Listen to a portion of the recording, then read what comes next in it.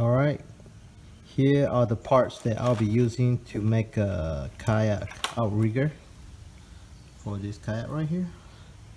I have two 5 feet long 1 inch PVC pipe, two 90 degree elbow, 45 degree elbow and T T-shaped connector. Also I got this from Walmart, I think this is $6 pool noodle. And this is long, this is probably what 5 inches but it will fit perfectly with uh, 1 inch PVC. Alright, and I got some uh, metal screw as well. Uh, this is not stainless steel, but it, it, can save you a lot of money if you just use regular screw for installation. Uh, I don't plan to spend too much money on this kayak because it's just $200 kayak. The purpose is just to get me out there fishing. So this is what I have so far. I cut up some PVC pipe is the 8 inches 5 inches and 11 inches here. You need all three of the connector and this is for uh, it can be any size. This is for the noodle all right? Now you just need to put it together like lego. And now i have put the this one side of the outrigger together.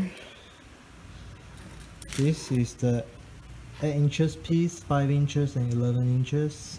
It looks like this and I'll just put it here. It's looking pretty good. The PVC pipe the form. Let me try to get it in with one hand. Okay. Hard to use one hand. Yep. There you have it. And there's a quarter inch hole right here Put it in. Don't forget. Yep. Kayak outrigger, it's all done. All I need to do is just put it in here. Oh yeah, look at that. There you go.